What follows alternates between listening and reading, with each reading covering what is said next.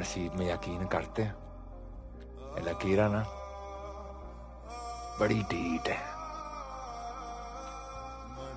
मुट्ठी में तो बंद हो जाती है, पर काबू में नहीं आती।